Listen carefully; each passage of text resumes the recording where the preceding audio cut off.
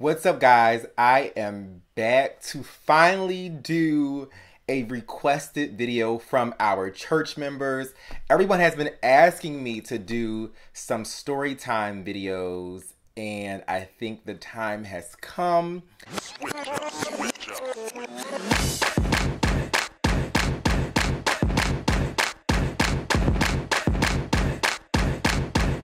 And I was actually torn as to what topic or situation in my life I wanted to share with you guys first. So I've decided to tell you guys that I was robbed at gunpoint when I was, I think I was 22 years old. It was in 2008. I'm 32 now. So 2008, it's, it's 2017. That's seven plus two, which is nine. Nine years from my age is what? Uh, 23, right? Or 24. I don't know how old I was. It was a very um, traumatic, and I think it was one of the most scariest. Is it the most scary? It was one of the scariest moments in my life. Um, I, I think I've only had about two or three extremely scary moments in my life that were super traumatic and left a mark, you know, in my memory. And uh, the interesting thing is, I moved to Philadelphia. It was my first time having my own place in Philadelphia because my previous apartments that I had on my own were always in New Jersey. And so I decided to move to Philadelphia, and the area was a pretty nice area.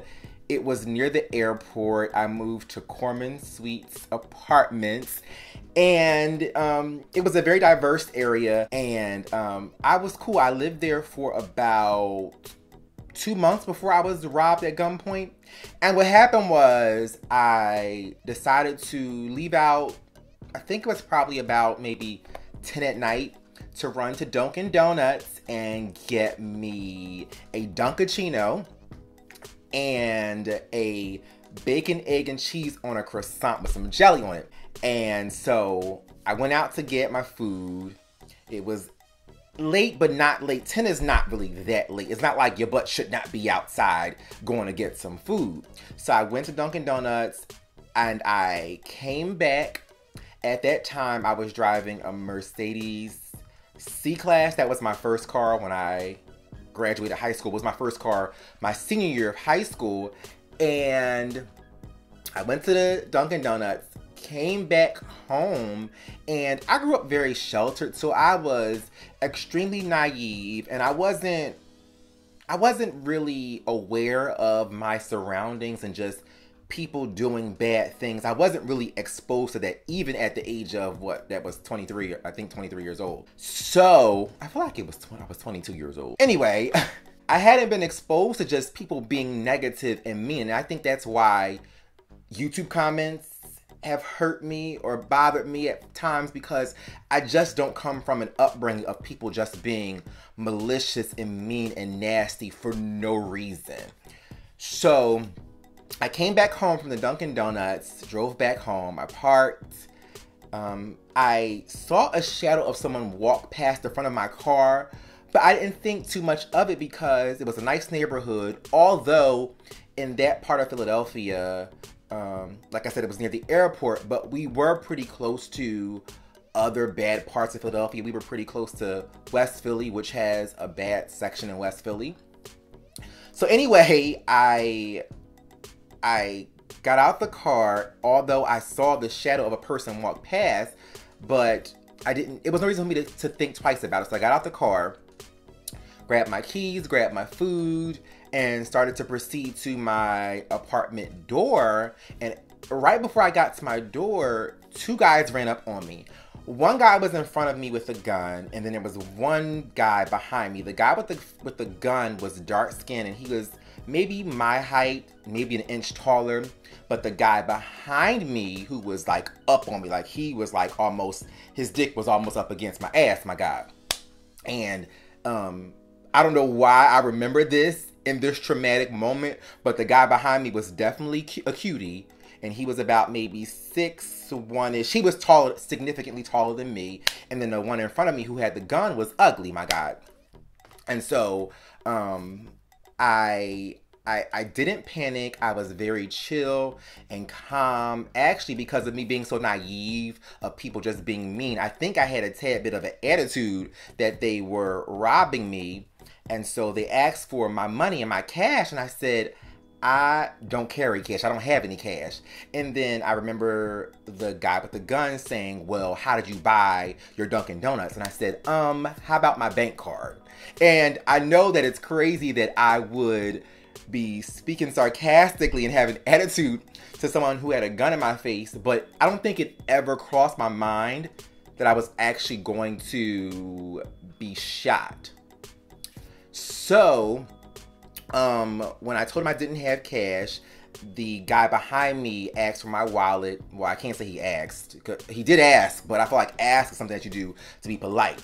Um, but he asked for my wallet. I gave him my wallet, and he started to go through it. I thought he was going to take the whole wallet, and he said he didn't want it. And so he went through the cards. He saw my ID. He said, "Here, here's your ID back." I mean, the guy behind me, the cutie, he was being a gentleman. I mean, granted, he was robbing me, but he was being a gentleman. I feel like he was protecting me low key because once he finally made it to my bank cards, I had a TD bank card and a PNC bank card. And once he finally made it to that card, he asked for the pen, and I gave him my pen. And the guy with the gun, the ugly one, my God, in front of me said, This better be your pen because we're right at your front door and we're going to come back and get you if this is the wrong pen. I said, You have a gun in my face. Why would I give you the wrong pen? Now, to his defense of questioning my pen, my pen number is like a dumb number. It's so dumb where it sounds like somebody would make it up because it's like three of the same numbers and only one different number in my four digit pin code. So, um it was it was it was a it was a weird experience because um when the guy was kind of threatening me because of the pin code, the one who had the gun, the one behind me, the cutie, he was pretty much like, "Yo, chill, chill. We got the card. Let's go." So they ran off, and I immediately went in my house. Like I ran in my house, went up the stairs. I called the police because I thought that well, one I had to call the police because it was a crime, and I had a gun in my face. I have I'd never seen a gun um, in my life in person until that moment, and so I, as I stated, I wasn't really um, fearful in the moment, but it hit me once I got in the house and I was actually realizing, like, bitch, you could have died. You could have been killed. You could have been shot. So, like I said, I called the police and I, I was trying to let them know, you know, where I live, where I was, because at that moment I was safe. So I was thinking that they would probably go to the nearest ATM or Mac machine to locate where these people were because me giving them my pin, I felt like they would have to go to the closest one because that would have given me time if they took too long for me to cancel the cards. So I called the police first. They were en route. I then called PNC Bank, and one of the cards was my Universal Stylist business card. So I called PNC Bank, you know, letting letting them know that I was robbed at gunpoint. There was a gun in my face. Please cancel my card so they don't take any money. And the PNC rep gave me a hell of a time, I got, because I told them my account number, I told them my name, told them my business number, but because it was my business, you typically have to have your um, tax ID to give to them because you really can't give your uh, social because your tax ID takes the place of your social um, when it comes to a business account. So I was so frantic at that point and panicking, I could not get the numbers correct for my tax ID number.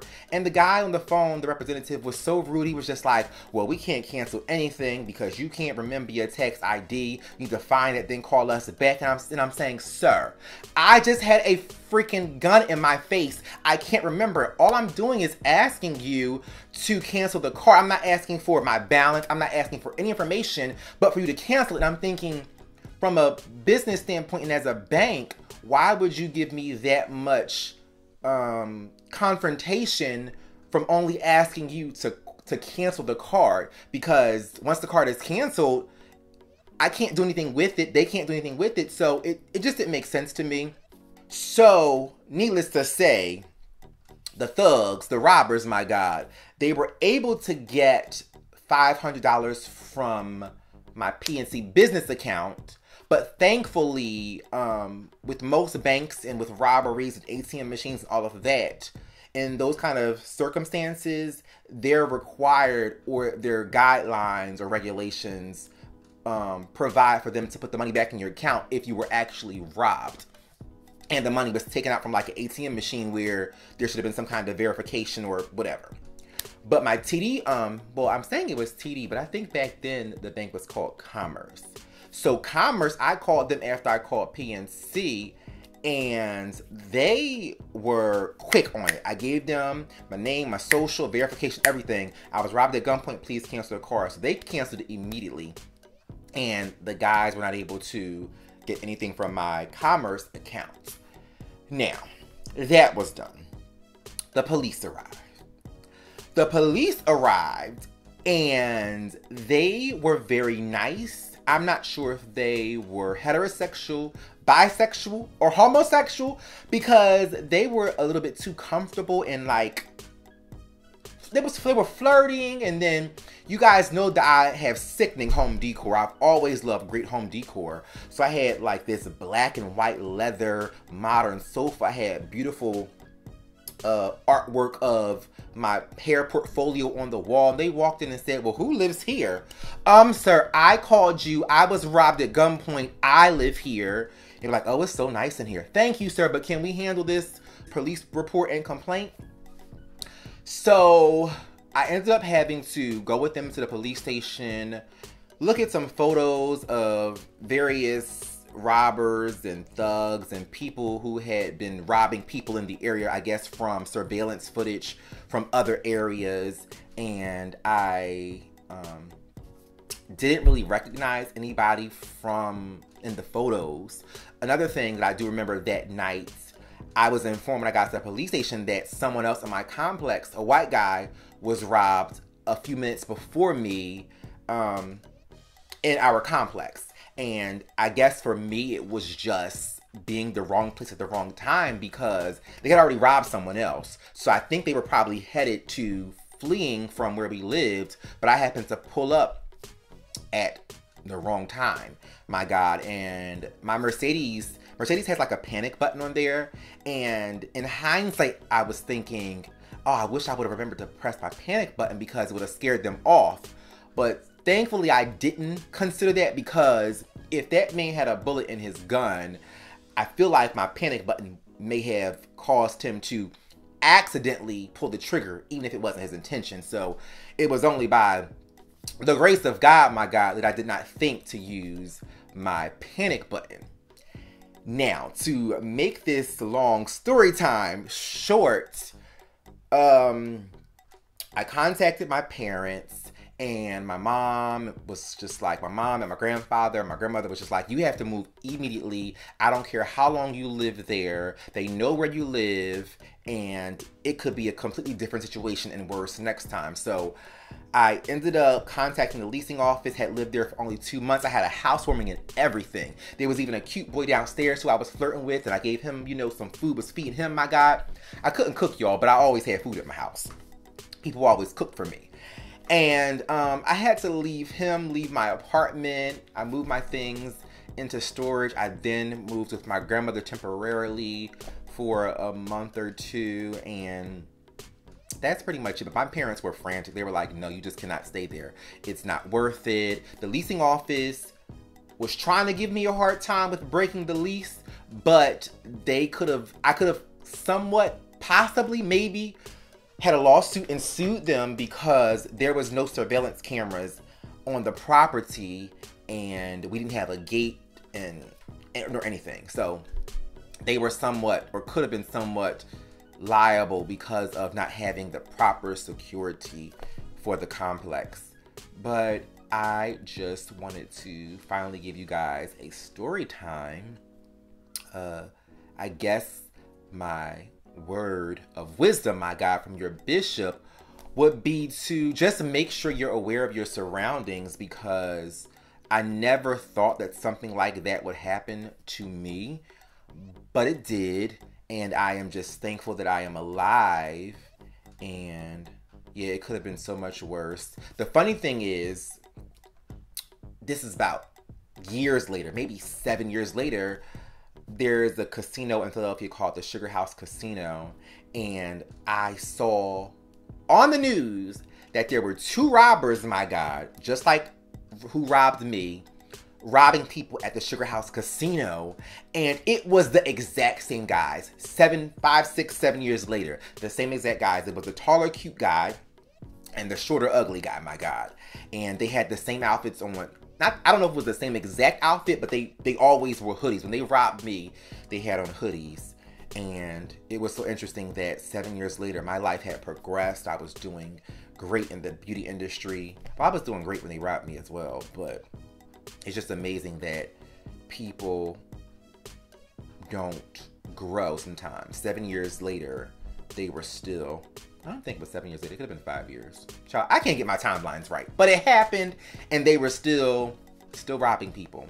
But anyway, please uh, follow me on all social media outlets comment down below and let me know if you guys enjoyed this story time and I will do more. I think you guys enjoyed it. I will probably do one story time a month and add it to our list of filming and videos and, and topics that we do. Please subscribe to my channel, turn on the notifications, share this video, and Thank you guys for watching. Bye.